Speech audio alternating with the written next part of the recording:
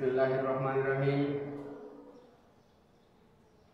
প্রিয় শিক্ষার্থীরা, আমি Mohammad Abu Bakar Siddique Shekhdi Abdullah Molla school and college কর্তৃক আয়োজিত অনলাইন শিক্ষা কার্যক্রমের অংশ হিসেবে তোমাদের ষষ্ঠ শ্রেণির শিক্ষার্থীদের উদ্দেশ্যে ইসলাম শিক্ষা বিষয়ে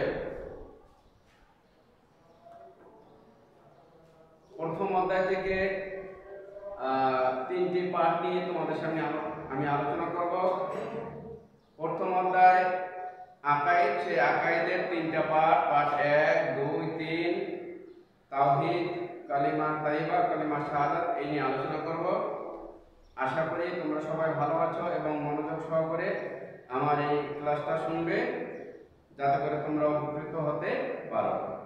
তাহলে আসো, আমি ক্লাস শুরু করছি। তোমরা দেখো, আমি আমার পাঠদানের, এই নির্বাচিত বিষয়গুলো আমি এখানে লিখে প্রথম অধ্যায় হচ্ছে আকাই তোমার বইয়ের পাঁচটা অধ্যায় আছে। প্রথম অধ্যায়ের সম্পূর্ণ আলোচনা আকাই বিষয় আকাইদের এই অধ্যায় থেকে পাঠ এক, দুই এবং তিন নিয়ে আলোচনা করব।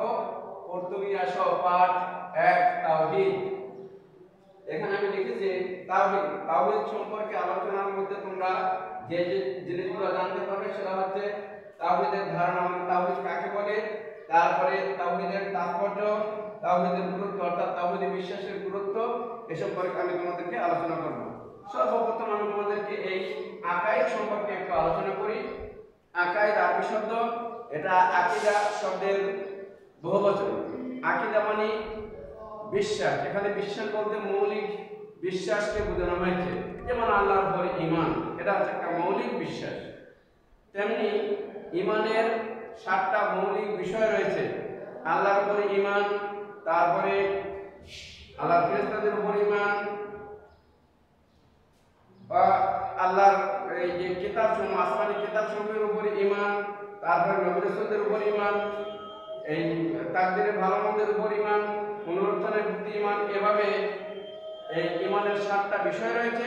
এই সাতটা বিষয়ের উপরে একত্রে বিশ্বাস স্থাপন করাকে বলা হয় আকাইদ অর্থাৎ ইসলামের মৌলিক বিষয়সমূহের উপরে বিশ্বাস স্থাপন করাকে আকাইদ বলা হয়।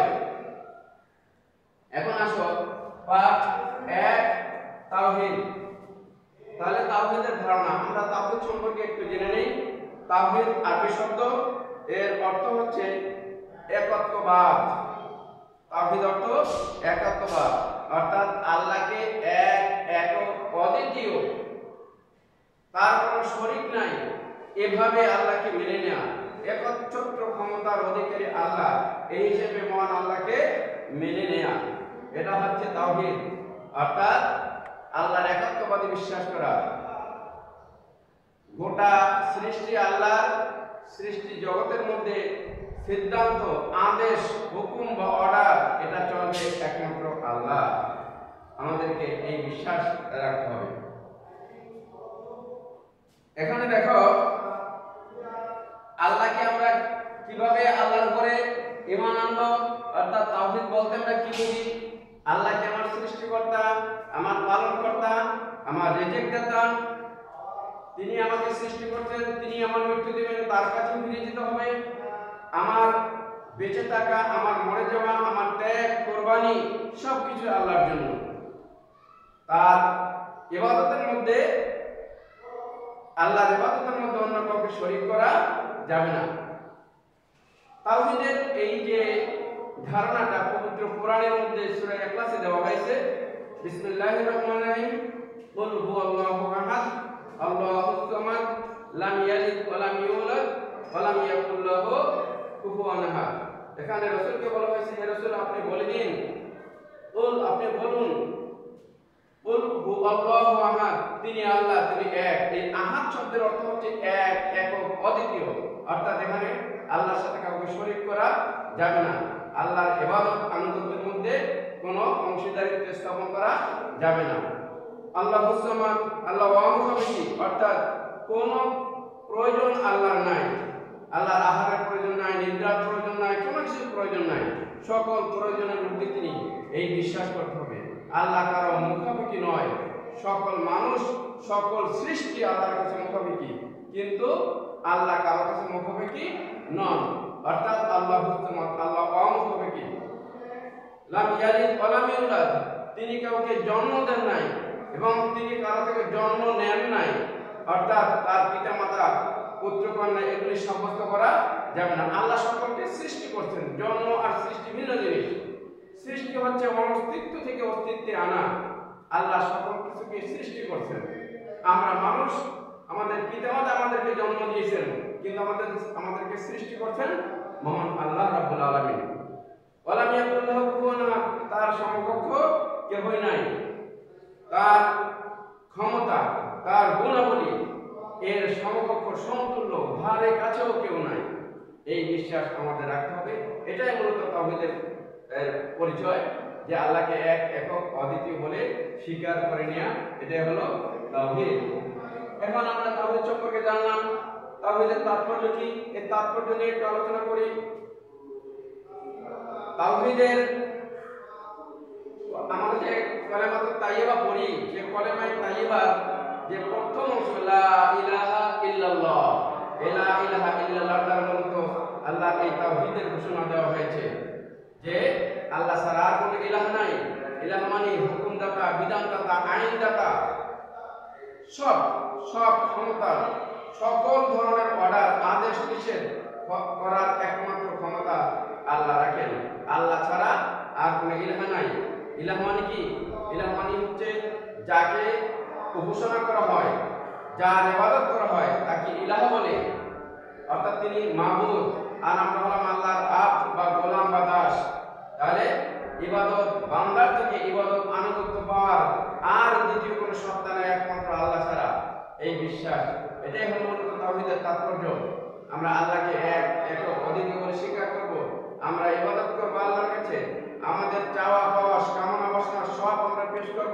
আল্লাহর কাছে। এটাই হলো মূলত তাওহীদের তাৎপর্য। এরপরে তাওহীদ বিশ্বাসের গুরুত্ব। তাওহীদে বিশ্বাস করা ফরজ। ইমানের যে সাতটা মৌলিক বিষয় রয়েছে, প্রথমে হচ্ছে ওয়াহদানিয়াত মানে তাওহীদে বিশ্বাস, অর্থাৎ আল্লাহর উপরে ঈমান আনা। আল্লাহর উপরে ঈমান আনা ফরজ। যদি কোনো মানুষ আল্লাহর উপরে ঈমান না আনে, তাহলে সে মুমিন হতে পারে না, সে কাফির হয়ে যায়। সুতরাং আমরা আল্লাহর উপরে ঈমান আনব। এই তাওহীদে বিশ্বাস করা এক কথা, তাওহীদে বিশ্বাস হচ্ছে ফরজ। তাওহীদে বিশ্বাসের, এখন আমরা আরও যদি একটু আলোচনা করি তাওহীদের বিশ্বাসের ফলে কি হয়? তাওহীদের বিশ্বাসের ফলে বান্দা এক আল্লাহর ইবাদত করতে বাধ্য হয়। আল্লাহ ছাড়া সে অন্য কার কাছে মাথা নত করে না। তাওহীদের বিশ্বাসের ফলে অন্যান্য সৃষ্টির দাসত্ব করা থেকে সে নিজেকে পবিত্র বা মুক্ত রাখতে পারে। তাওহীদে অবিশ্বাসী মানুষ সে অন্য সৃষ্টির দাসত্ব করে। যেমন কিছু মানুষ আছে যারা অগ্নি পূজারী তারা আগুনের পূজা করে, যারা মূর্তি পূজারী তারা দেবতাদের পূজা করে, মূর্তির পূজা করে, যারা কিছু মানুষ আছে নক্ষত্র পূজারী তারা সূর্যের পূজা করে, এরকম যুগে যুগে বহু মানুষ তাদের বহু উপাস্য বানিয়ে নিয়েছে। ঠিক যখন একটা মানুষ তাওহীদের উপরে বিশ্বাস আনবে আল্লাহর একত্ববাদের উপরে বিশ্বাস স্থাপন করবে, সে এক আল্লাহ ছাড়া অন্য কারও দাসত্ব করতে পারে না। সুতরাং আমরা বুঝলাম, তাওহীদে বিশ্বাসের পরে মানুষ আল্লাহর দাসত্ব করতে পারে, অন্য সকল সৃষ্টির দাসত্ব থেকে সে মুক্ত থেকে একমাত্র আল্লাহর দাসত্ব করতে সে পারে। তারপরে তাওহীদে বিশ্বাসের ফলে মানুষ কি হয়? আল্লাহর ইবাদতের প্রতি উৎসাহী হয়। একদম তাওহীদে বিশ্বাসী মানুষ সে সর্বদা আল্লাহকে সন্তুষ্ট করার জন্য আল্লাহর পক্ষ থেকে যে হুকুমগুলো তার উপরে আসছে সালাত সাওম হজ, যাকাত সহ তার গোটা জীবনে যে বিধিনিষেধ আল্লাহর পক্ষ থেকে এসেছে, সেই ইবাদতগুলো সে পালনে আগ্রহী হয়। আমরা ইবাদত বলতে শুধুমাত্র সালাত সাওম, হজ জাকাত এগুলো কি বুঝি? এগুলো ইবাদত। এছাড়াও আমাদের হাঁটা, চলা, লেনদেন, পারস্পরিক আচার আচরণ, অর্থ, ধর্ম, রাজনীতি ধর্ম ধর্মের যত অনুষ্ঠান সব কিছুর মধ্যেই আল্লাহর দিক নির্দেশনা রয়েছে। গোটা জীবনে আল্লাহর দিক নির্দেশনা মেনে চলা, আল্লাহর বিধিনিষেধ, হুকুম হাকামগুলো মেনে চলা এটার নাম ইবাদত।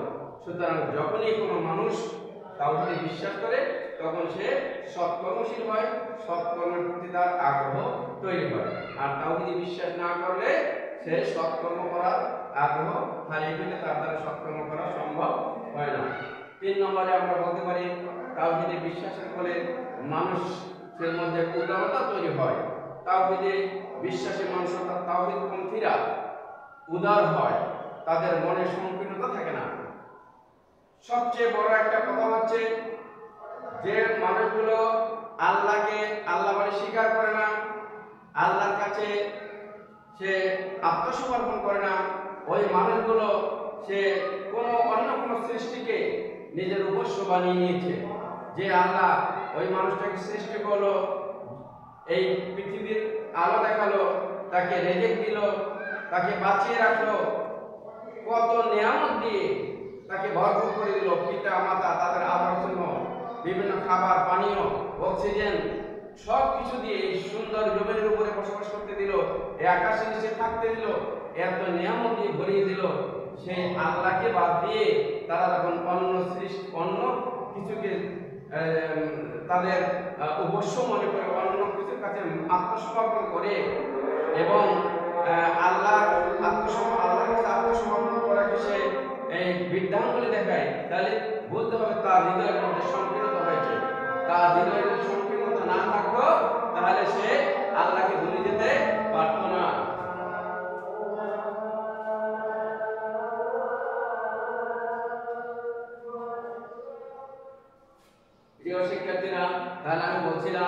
তাওহীদি বিশ্বাসের ফলে মানুষের মধ্যে উদার দৃষ্টিভঙ্গি তৈরি হয়। সে কৃতজ্ঞ বাংলা হতে পারে। আল্লাহর কৃতজ্ঞ বাংলা হতে পারে। সে আল্লাহর উপকারের উপকারিতা স্বীকার করার যোগ্যতা সে অর্জন করতে পারে। আর তাওহীদে অবিশ্বাসী মানুষ সেই এত কিছু নিয়ামত ভোগ করেছেও ভোগ করেছে আল্লাহকে মানে না। কত চরম দুর্ভাগ্য এরা এদের। যারা আল্লাহকে বিশ্বাস করে না, আল্লাহর নিয়ামতের স্বীকৃতি দেয় না। এটা তাদের সংকীর্ণ হৃদয়ের পরিচয়। সুতরাং আমরা তাওহীদে বিশ্বাস করব, আমাদের হৃদয়টাকে আমরা বড় করব, আমরা মহান আল্লাহর নিয়ামতের শুকরিয়া আদায় করব, আমরা পরস্পরের প্রতি উদার হব, দয়া, মায়া সিংহ মমতা, এগুলি আমাদের হৃদয়ের মধ্যে থাকবে। এটা তখনই সম্ভব যখন একটা মানুষ তাওহীদপন্থী হয়, তাওহীদে বিশ্বাসী হয়। আচ্ছা দ্বিতীয় হচ্ছে পাঠ দুই, কলেমা তাইবা কলেমা তাইবা আমরা সবাই জানি। কলেমা তাইবা কি? ছোট্ট একটা আরবি বাণী, নাকি? কালেমা তাইবা লা ইলাহা ইল্লাল্লাহ মুহাম্মাদুর রাসূলুল্লাহ। বাংলা অর্থটা কি? লা ইলাহা ইল্লাল্লাহ। আল্লাহ ছাড়া কোনো ইলাহ নাই। মুহাম্মাদুর রাসূলুল্লাহ, মুহাম্মদ সাল্লাল্লাহু আল্লাহর রাসূল এই বাণীটার স্বীকৃতির মাধ্যমে একজন মানুষ ইমানের গণ্ডির মধ্যে প্রবেশ করে। অর্থাৎ সে মুসলমানের তালিকায় অন্তর্ভুক্তি হয়ে যায়। এখন এই যে মুসলমানের তালিকার মধ্যে অন্তর্ভুক্ত হলো, এখন মূলত এই কালেমা তাইবা শুধু একটা এই মুখে উচ্চারণ করার বাণী এটাই নয়। যারা বুঝে শুনে এই কলেমাকে গ্রহণ করবে, মূলত সে হচ্ছে প্রকৃত মুমিন, সে হচ্ছে প্রকৃত মুসলমান। কলেমায় তাইবার দাবি আছে। কলেমায় তাইবার দাবি কি? প্রথম অংশের দাবি হচ্ছে, লা ইলাহা ইল্লাল্লাহ, আল্লাহ ছাড়া আর কোনো ইলাহ নাই। অর্থাৎ আল্লাহ ছাড়া জীবনের কোনো ক্ষেত্রে অন্য কাউকে মানা যাবে না।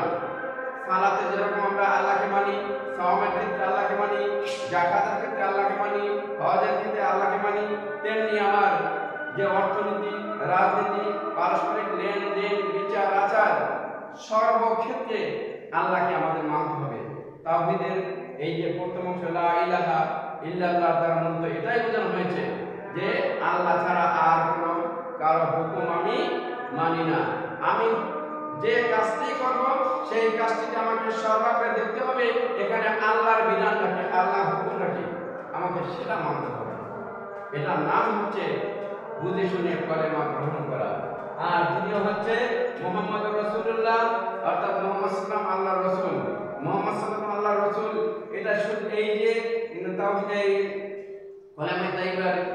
দ্বিতীয় অংশ।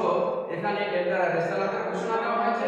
মূলত এটা শুধুমাত্র এটা মুখে উচ্চারণ করে দিলাম। এটার নামে কিন্তু না। এর মানে হচ্ছে মোহাম্মদ আল্লাহ রসুল মানে কি? সে মোহাম্মদ সাল্লামকে আমি আল্লাহ রসুল হিসেবে মেনে নিলাম। এ কথার অর্থ হচ্ছে, মোহাম্মদ সাল্লামকে আমি আল্লাহ প্রেরিত হিসেবে মানার অর্থ হচ্ছে মোহাম্মদ সাল্লাম আমাদের আদর্শ নেতা আমার আদর্শ নেতা। তিনি আল্লাহর বিধানগুলো যেভাবে যেই তরিকায় যেই পদ্ধতিতে পালন করেছে আমি যদি রসুল সাল্লামকে আমার আদর্শ নেতা হিসেবে মেনে নেই তাহলে আমিও আমার প্রত্যেকটা আমল প্রত্যেকটা কাজ রাসূলের দেখানো পথে আমি আম- আমল করব। অর্থাৎ আমি রাসূলের আনুগত্য করব। রাসূলের আনুগত্য করার মাধ্যমে আল্লাহর আনুগত্য হবে। যেমন মহান আল্লাহ রাব্বুল আলামিন কোরআনে বলেছেন, আতিউল্লাহ ওয়ার রাসূল। আতিউল্লাহ ওয়া আতিউর রাসূল। রাসূল বলেন কুল ইন কুনতুম তুহিব্বুনাল্লাহ ফাত্তাবিউনি যদি তোমরা আল্লাহকে ভালোবাসো, আল্লাহকে ভালোবাসতে চাও তোমরা আমার অনুসরণ করো।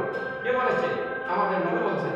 সুতরাং আমরা যদি আল্লাহর ভালোবাসা পেতে চাই, তাহলে আমাদেরকে রসুলকে অনুসরণ করতে হবে। রসুলকে অনুসরণ করার মানে কি? রসুল ইবাদতগুলো, আল্লাহর কোরআনে যে দিক নির্দেশনাগুলো আসছে বিধিবিধানগুলো মানুষের জন্য আসছে, সেটা রসুল যেভাবে পালন করতে বলছে আমরা সেভাবে পালন করব। কিছু বাড়াবো না, কিছু কমাবো না। এক্ষেত্রে প্রত্যেকটা ইবাদত, প্রত্যেকটা কাজ করার ক্ষেত্রে আমাকে রসুলের সুন্নাহ থেকে জেনে নিতে হবে। আল্লাহ রসুল এ ব্যাপারে কি বলেছেন? ঠিক সেইভাবে আমরা এই আল্লাহর হুকুমগুলো আমল করব। মূলত কালেমা তাইবা মানে হচ্ছে এটাই। এরপরে আসো পাঁচটি হচ্ছে কালেমায় শাহাদাত। শাহাদাত শাহাদাত মানে সাক্ষ্য দেওয়া কি? আশহাদু আল্লা ইলাহা ইল্লাল্লাহু ওয়াহদাহু লা শারীকা লাহু ওয়া আশহাদু আন্না মুহাম্মাদান আবদুহু ওয়া রাসূলুহু। এই যে কালেমায় শাহাদাত, সাক্ষ্য বাণী এখানে আমরা কি সাক্ষ্য দিচ্ছি? সেখানে সাক্ষ্য দিচ্ছি যে আল্লাহ ছাড়া আর কোনো ইলাহ নাই। কলেমা তাইবায় আমরা যে কথাটা বললাম, সে কথাটি যে একটু বিস্তারিত। যে এখানে সাক্ষ্য দিচ্ছি আল্লাহ ছাড়া কোনো ইলাহ নাই। এর মানে কি? আমি আল্লাহ ছাড়া অন্য কারও হুকুম মানতে পারি না। আমার উপস্য, আমি আল্লাহ ছাড়া। আমার মনিব, আমি আল্লাহ ছাড়া আর কাউকে মানতে পারি না। আমি স্বীকৃতি দিছি যে আশহাদু আল্লাহ ইলাহা ইল্লাল্লাহ, যে আল্লাহ ছাড়া কোনো ইলাহ নেই। সুতরাং ইলাহ মানে তো তোমাদেরকে বলেছি ইলাহ মানে হুকুম দাতা বিধান দাতা আইন দাতা রিজিক দাতা সব। সকল সকল ক্ষমতা সর্ব ক্ষমতার মালিক। মানুষের উপরে আদেশ নিষেধ বলতে যা আছে সব আল্লাহর পক্ষ থেকে আসছে। আমরা যে পিতামাতার আহ, আহ, হুকুম মানি পিতামাতাকে সেবা করি এ ব্যাপারে আল্লাহ কি বলেছেন? আমরা আমাদের নৈতিক কারণেই পিতামাতার আহ, কে আমরা খেদমত করি সেবা করি তাদেরকে সম্মান করি এরকমটা এখানে ইসলাম যা শিক্ষা দিয়েছেন তাই নৈতিকতা এক্ষেত্রে আল্লাহ বলেছেন, কোরআনের মধ্যে আল্লাহ বলেছেন তোমরা তোমার পিতামাতার সাথে ইহসান করো, ভালো আচরণ করো। সুতরাং এটা কিন্তু আল্লাহর হুকুম। সুতরাং যে লা ইলাহা ইল্লাল্লাহ মানে কি? আল্লাহ ছাড়া আর কোনো ইলাহ নাই। অর্থাৎ আমি আল্লাহ ছাড়া আর কারও হুকুম আমার জীবনে মানব না। আল্লাহকে একমাত্র ইলাহ মেনে নেব। ওয়াহদাহু লা শারিকা লাহু। তিনি এক। লা শারিকা লাহু, তার কোনো শরীক নাই। আল্লাহ একজন, আল্লাহ ছিলেন, আল্লাহ আছেন, আল্লাহই থাকবেন। কুল্লু মান আলাইহা ফান, ওয়া ইয়াবকা ওয়াজহু রাব্বিকা যুল জালালি ওয়াল ইকরাম। সকল কিছু ধ্বংসশীল। একমাত্র তোমার রব, তিনিই থাকবেন। সুতরাং আল্লাহ ছিলেন, আছেন, থাকবেন। হুয়াল হাইয়ুল কাইয়ুম, তিনি চিরঞ্জীব, চিরস্থায়ী। লা ইলাহা ইল্লাহু, তিনি ছাড়া আর কোনো ইলাহা নাই। এ কথা স্বীকৃতি দিতে হবে এবং লা শারিকা লাহু, তার কোনো শরিক নাই। তার এই যে যত সৃষ্টি, নবমণ্ডল, ভূমণ্ডল, এই বিশাল যে কর্মযজ্ঞ, এর মধ্যে আর কোনো শরিক নাই। তুমি যদি লক্ষ্য করো আসমানকে বানিয়েছেন? আল্লাহ বানিয়েছেন। সূর্যকে বানিয়েছেন? আল্লাহ বানিয়েছেন। জমিনকে বানিয়েছেন? আল্লাহ বানিয়েছেন। সূর্য গ্রহ নক্ষত্র কে পরিচালনা করেন, আল্লাহ পরিচালনা করেন। সুতরাং এই কোনো ক্ষেত্রে অন্য কোনো শক্তি নাই যে উনি এটা করে, উনি এটা করে। এরকমটা না। আমরা যা কিছু ভক্ষণ করি, কিছু আছে জলে, কিছু আছে স্থলে, অসংখ্য মাছ আল্লাহ বানিয়েছেন। কে বানিয়েছেন? আল্লাহ বানিয়েছেন। স্তরের মধ্যে আমরা শাক, পাতা, তরলতা কত কিছু ভক্ষণ করি। একটা শাক কে বানিয়েছেন? আল্লাহ বানিয়েছেন। পৃথিবীর অন্য কোনো মানুষ এটা বানাতে পারে না। সুতরাং আল্লাহর ক্ষমতার মধ্যে, আল্লাহর গুণের মধ্যে, আল্লাহর সত্তার মধ্যে অন্য কাউকে শরীর স্থাপন করা যাবে না। যেমন হিন্দু ধর্মে আছে, তারা মনে করে বিদ্যার দেবী কি? সরস্বতী। তাছাড়া যে ফসল, কল্যাণ ইত্যাদি দেবী লক্ষ্মী, এরকম তাদের তারা এক একটা কল্যাণের জন্য এক একটা দেবতার ওখানে দেবতার ক্ষমতা তারা বিশ্বাস করে। কিন্তু আমাদের কি? আমাদের আমাদের বিদ্যা কে দেয়? আল্লাহ দেয়। এই জন্য আমরা বলি, রব্বি জিদনি ইলমা, হে আল্লাহ, তুমি আমার জ্ঞান বৃদ্ধি করে দাও। আমাদের সুস্থ রাখা, আমাদের জ্ঞান দান করা, আমাদের ফসল দেওয়া, আমাদের কল্যাণ দান করা, সবই আল্লাহ করে। সুতরাং আল্লাহর ক্ষমতার মধ্যে কাউকে শরীর স্থাপন করা যাবে না। আর সে অংশে বলা হয়েছে, ওয়া আশহাদু আন্না মুহাম্মাদান আবদুহু ওয়া রাসূলুহু। আমি আরও সাক্ষ্য দিচ্ছি যে মুহাম্মদ সাল্লাল্লাহু আলাইহি সাল্লাম তিনি আবদুহু আল্লাহর বান্দা। মোহাম্মদ সাল্লাম একজন মানুষ, আল্লাহর প্রিয় মানুষ। তিনি কিন্তু আমাদের মতো মানুষ না, তিনি অসাধারণ মানুষ। আব্দুল আব্দুল মনি দাস, কার দাস? আল্লাহর দাস। তিনি আল্লাহর দাস। দাস, দাসের কাজ কি? দাসের কাজ হচ্ছে দাসত্ব করা। দাসত্ব মানে কি? হুকুম মেনে নেওয়া। অর্ডার করতে দেরি, মানতে দেরি নাই। বিনা বাক্য ব্যয়ে আল্লাহর হুকুম মেনে নেওয়া যিনি এটা যতটুকু মেনে নিতে পারছেন তিনি সেই পর্যায়ের আপ বা আল্লাহ দাস বা গোলাম হতে পেরেছেন মোহাম্মদ ইসলাম হচ্ছেন আল্লাহর বান্দা বা দাস। রসুল এবং আল্লাহর প্রেরিত রসুল। দুনিয়াতে যুগে যুগে অসংখ্য মানুষ এসেছে। সেই মানুষদেরকে হেদায়ত দানের জন্য যুগে যুগে আল্লাহ অসংখ্য নবী রাসূল পাঠিয়েছেন। তারই ধারাবাহিকতায় সর্বশেষ নবী ও রাসূল হচ্ছে মোহাম্মদ সাল্লাল্লাহু আলাইহি ওয়াসাল্লাম। সুতরাং মোহাম্মদ সাল্লামকে আল্লাহ রাসূল হিসেবেও আমি স্বীকৃত স্বীকৃতি দিচ্ছি। এই হচ্ছে কলেমা শাহাদাতের মোটামুটি আলোচনা। প্রিয় শিক্ষার্থীরা, আমরা এই আলোচনাগুলো বই থেকে আরও সুন্দর করে দেখব। প্রত্যেকটা লাইনে লাইনে আমরা দেখব, বোঝার চেষ্টা করব। এই ভিডিওটা আমরা বারবার দেখব যে আমি কি কথাগুলো বলেছি। এখান থেকে আমার বাস্তবতার সাথে মিলাতে হবে। এভাবে বুঝে শুনে আমাকে পড়াশোনা করতে হবে। তোমরা এই সৃজনশীল প্রশ্ন হতে পারে, তারপরে অবজেক্টিভ বা বহুনির্বাচনী প্রশ্ন হতে পারে। এই জন্য তোমরা এই আলোচনা রিডিংটা ভাষায় মনোযোগ সহকারে পড়বে এবং গুরুত্বপূর্ণ তথ্য যেখানে থাকবে সেখানে একটু আন্ডারলাইন করবে, যাতে করে দ্বিতীয়বার তোমার পড়ার সময় এটা তুমি খুব সহজেই ধরে ফেলতে পারো। তাহলে আশা প্রিয় শিক্ষার্থীরা আমরা এখন শেষের দিকে এসে পড়েছি। আমি সংক্ষেপে একটু দেখি আমরা এতক্ষণ কি আলোচনা করলাম, আমরা তাওহীদ সম্পর্কে আলোচনা করেছি। আল্লাহর একাত্মবাদে আমরা বিশ্বাস করব। কলেমায় ইমানের মুফাসসালের মধ্যে ইমানের সাতটা বিষয়ের কথা বলা আছে। সেখানে সর্বপ্রথম তাওহীদের কথা বলা আছে। তাওহীদে বিশ্বাসী মানুষ আল্লাহর দাসত্ব করতে পারে, অন্য সৃষ্টির দাসত্ব থেকে সে মুক্ত হতে পারে। তাওহীদে বিশ্বাসের ফলে সে সৎকর্মের প্রতি উৎসাহী হয়।